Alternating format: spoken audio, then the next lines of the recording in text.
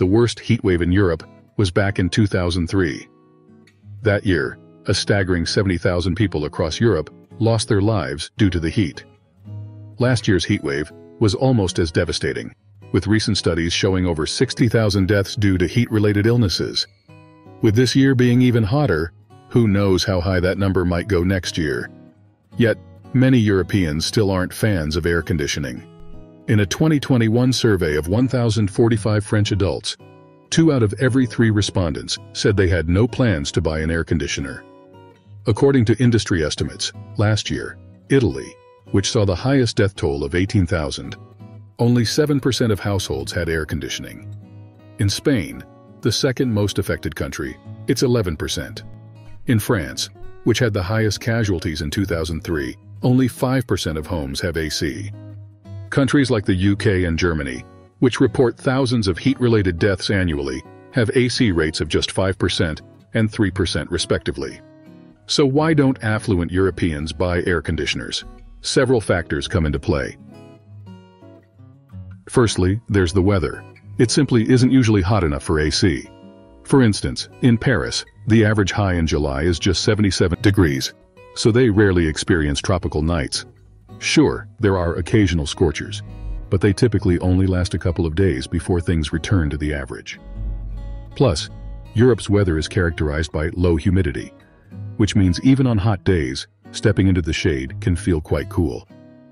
Because of this, it's not uncommon to find restaurants, cafes, and hotels without AC. Even most public transportation like buses and subways don't have air conditioning. And typically, outside of operating rooms, many hospitals lack cooling systems too. The real concern, however, is that this is becoming a thing of the past. With the rise in extreme weather events since 2000, Europe is seeing more and more days that defy the norms. Berlin, which usually has cooler average highs than Paris, suddenly hit a shocking 100.4 degrees last year. The UK's meteorological department now warns that London's chances of experiencing temperatures over 104 degrees have increased tenfold. Secondly, historical context plays a significant role. The modern concept of air conditioning was first introduced in the early 20th century by William Carrier in the US. You might recognize the name Carrier it's the same name that's on many AC units today, stemming from the company he founded. At the time, the US was rapidly industrializing and urbanizing.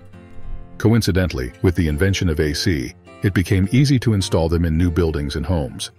As a result, heat-related mortality in the US dropped by 40%, according to some studies. In contrast, European cities were already filled with centuries-old buildings when AC came into the picture. Installing ACs in these older buildings was much more expensive than in new constructions. And given that there were only a few scorching hot days, AC was seen as a luxury, not a necessity in Europe. In fact, the destruction from World War II presented an opportunity for more modern infrastructure. But Europe simply didn't have the financial means at the time. From then on, air conditioning was viewed as a frivolous luxury in Europe. Currently, over half of European residential buildings were built before the 1970s. This perception of air conditioning as a luxury has certainly played a role in its slow adoption across the continent. The third factor is architectural. Many homes in Europe are characterized by thick walls and high ceilings. While these designs originally focused on keeping out the cold of winter, they also help to cool the interior during hot summer days. Traditionally in Europe, People would let in the cool dawn air and then shut all the doors to trap it inside throughout the day. However, this traditional method proved ineffective during prolonged heat waves, as evidenced in 2003. In France, houses with thick stone walls that usually provided respite during warm summer days heated up, exacerbating the situation. During that time, France alone saw nearly 15,000 heat-related deaths. To make matters worse, it was vacation season, so there was a shortage of staff to manage the situation and families to claim their deceased loved ones. This led to a grim situation where bodies had to be stored in refrigerated warehouses near Paris. Fourth, strict regulations are also inhibiting air conditioning use. In Europe, the older the building, the stricter the regulations for installing air conditioning. If a tenant wants to install an AC unit, they need permission from both the landlord and the local authorities. Europe is infamous for its sluggish bureaucracy. Typically this process takes over six months, by which time summer is almost over. Even if they get past the landlord, local regulations can be so strict that getting official approval is quite challenging. In most European countries, external units must be positioned at least about 13 feet away from another home's window. But in many of Europe's historic city centers, streets are narrow and buildings are closely packed together, meaning there's virtually no space to install these units. Some countries even have rules against AC units being visible from the street, all in the name of preserving the city's aesthetics. This is practically telling residents not to install AC at all. As a result, most European households that do have AC opt for portable units rather than fixed or system types. Fifth, the cost of electricity is a deterrent to using air conditioning. Electricity is notably expensive in Europe, with prices averaging more than double those in the US.